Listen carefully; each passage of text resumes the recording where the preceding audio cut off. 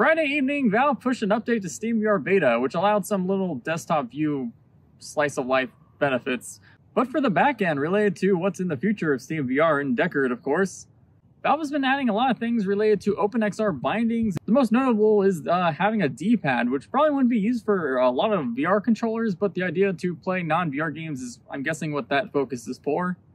The more important updates are related to something called app throttling, where apps can uh, sort of frame limit to how much they can actually push out related to getting better battery life, similar to the Steam Deck. I'm guessing they want to have a lower frame rate so they can re reproject it higher with a dedicated chip for that. A more interesting thing, if you're a big fan of AR and XR in general, they added something called Room View Direct or, or references to it, which might be related to actually overlaying the AR stuff related to pass-through cameras, similar to how every other company is doing. It's very likely this Room View Direct would be actually run on the actual HMD itself uh, with a dedicated chip for that.